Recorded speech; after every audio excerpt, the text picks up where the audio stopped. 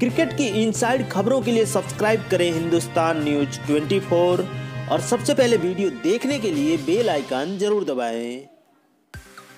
तीन मैचों की टी सीरीज के पहले मुकाबले में करारी हार के बाद दूसरे टी में भारतीय टीम ने शानदार वापसी करते हुए न्यूजीलैंड को सात विकेट से हरा दिया है जी हां न्यूजीलैंड के एक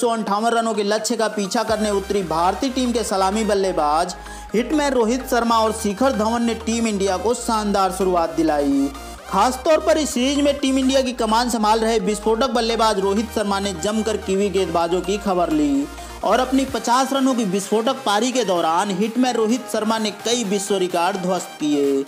रोहित टी ट्वेंटी अंतर्राष्ट्रीय क्रिकेट में सबसे ज़्यादा रन बनाने वाले विश्व के इकलौते बल्लेबाज बन गए हैं रोहित ने मात्र उनतीस गेंदों का सामना करते हुए तीन चौके और चार शानदार छक्कों के साथ 50 रनों की बेहतरीन पारी खेली जबकि भारतीय टीम के दूसरे सलामी बल्लेबाज शिखर धवन ने भी 30 रन बनाए वहीं टीम इंडिया के दोनों सलामी बल्लेबाजों के आउट होने के बाद तीसरे नंबर पर बल्लेबाजी करने आए विस्फोटक विकेटकीपर बल्लेबाज ऋषभ पंत ने भी जमकर कीवी गेंदबाजों को धोया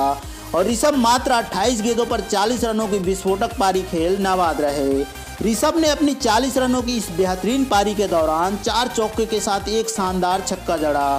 जबकि महेंद्र सिंह धोनी 19 रन बनाकर नाबाद रहे ऑलराउंडर विजय शंकर ने भी आठ गेंदों पर एक चौके और एक छक्के के साथ 14 रन बनाए